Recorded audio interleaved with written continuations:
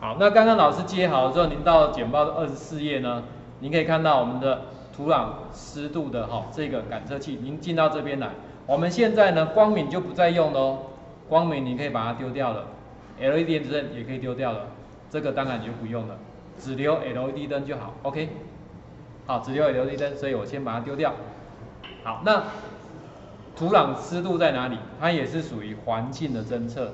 好，环境侦测里面有没有一个土壤湿度侦测？底下一样，先找第一个拿出来。但是我们现在脚位接在哪里？啊，不是 A 零吗？对不对？光敏电阻那一个，哎，就是这个哈。好，先接好了，一样的，你把烧杯打开，也是显示文字，因为它侦测之后的数值我要显示在这边。好，所以呢，开始侦测，侦测。有没有变数不一样？好，开始侦测，侦测要把它显示出来，有没有跟我们刚刚光明的使用方法都一样？只是现在元件不同而已。那我就把侦测到的数值秀出来。现在我们就 play 看看哦。然后呢，你把这个，好，我先插电一下。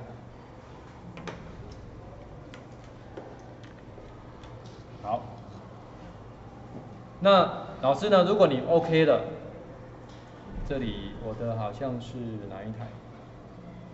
这一台没有错台，确认一下。好，那我就 play 一下哈，我们先测试看看。现在看看有没有抓到那个数字。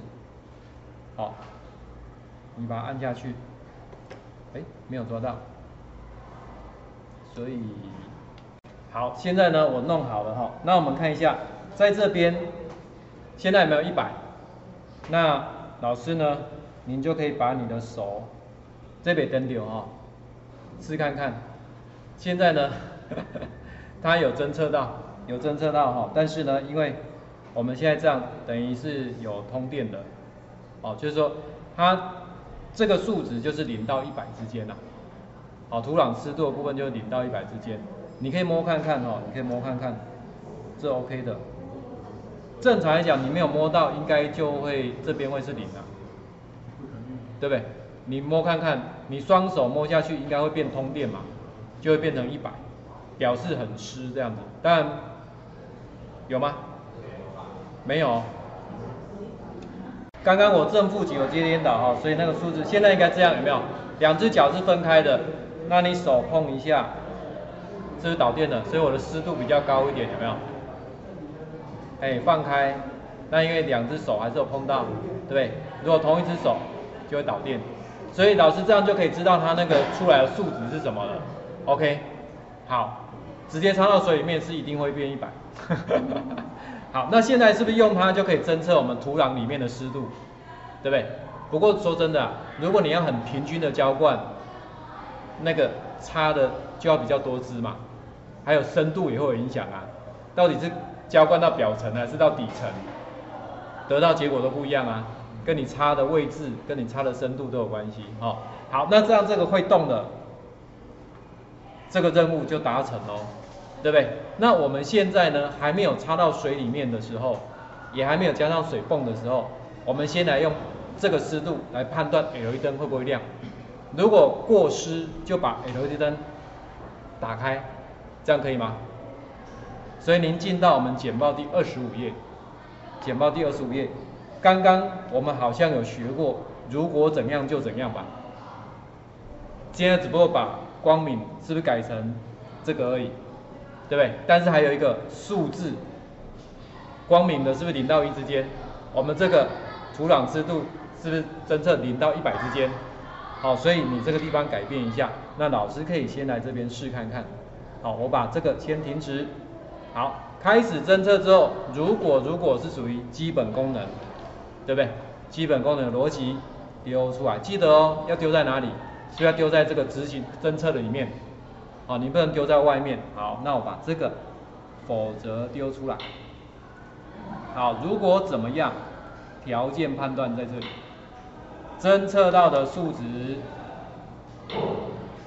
如果比较干。就表示数字比较小，对不对？我就小于数学是，比如说我刚刚是大概二十几、五十，那假设我设四十好了，那我就来准备我的 LED 灯要亮或是关，这样我可以从这边去看到到底湿度的情形。当然你可以有不同的什么更多条件的。好，我现在就测试一下，当我现在有没有小于？只有一有没有小于四十？灯有没有亮？你看这里，灯有没有亮起来了？我的红灯是不是就亮起来了？红灯就亮起来了。安呢？但是呢，当我接触了超过四十，有没有灯就熄灭了？打开亮，打开是就熄灭了。像这样，好，所以这样是不是就 OK 了？我们已经知道这个元件它怎么侦测了。那就只差最后一里路了，把水泵要接起来了。OK，好，所以您先侦测一下，看看这样能不能控制 LED 灯的亮跟灭。本身它上面有一个灯号哈，就代代表有没有通电而已，有没有？有没有通电哈？所以这个是这个灯号这样。OK。